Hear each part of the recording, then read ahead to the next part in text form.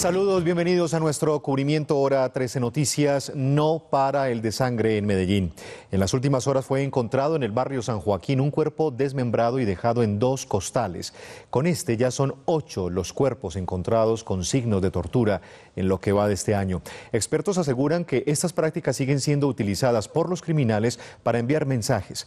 El problema es que cada vez estas prácticas pueden volverse más violentas. En el caso más reciente, las autoridades encontraron en dos costales el tronco y las extremidades de un hombre aún sin identificar. Lo que buscan estos delincuentes es generar precisamente eh, intimidación.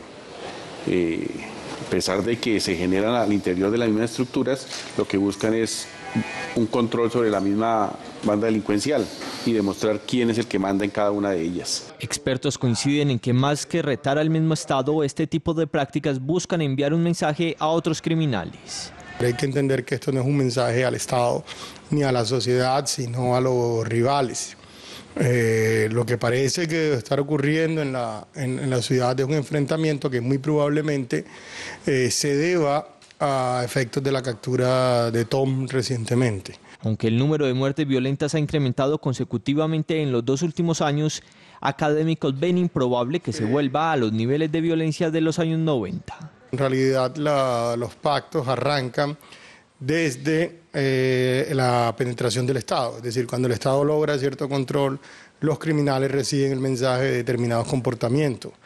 Entonces, lo que nosotros asistimos en las últimas décadas es a un avance del Estado que obligó a los criminales a cambiar sus prácticas. En lo corrido de 2018 se han cometido 12 homicidios más que en el mismo periodo del año anterior.